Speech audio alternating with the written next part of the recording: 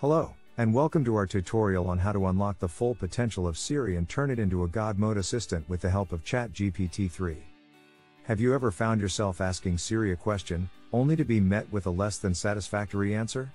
Well, today we're going to show you how to enhance Siri's capabilities with the help of the powerful language model, ChatGPT 3.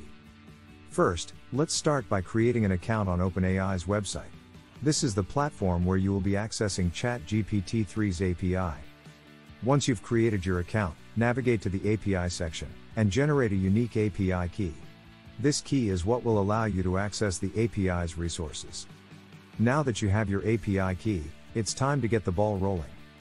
Go to the specified URL show here. Then click on Get Shortcut. This will take you to the Shortcuts app, where you can add the shortcut and open it.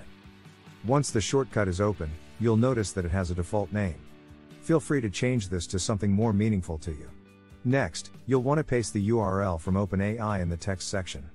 This URL is what will connect the shortcut to the API. Now it's time to test the shortcut to make sure everything is working correctly.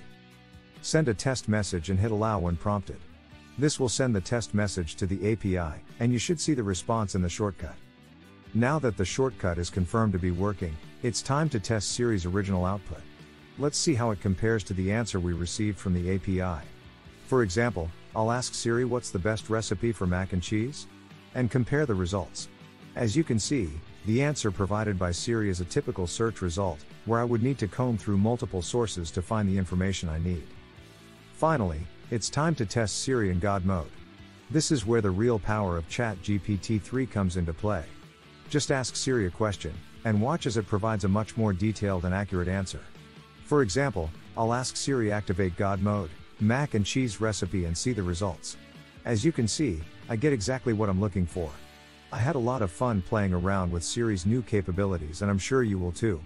Feel free to share what you can get Siri to do using God mode in the comments.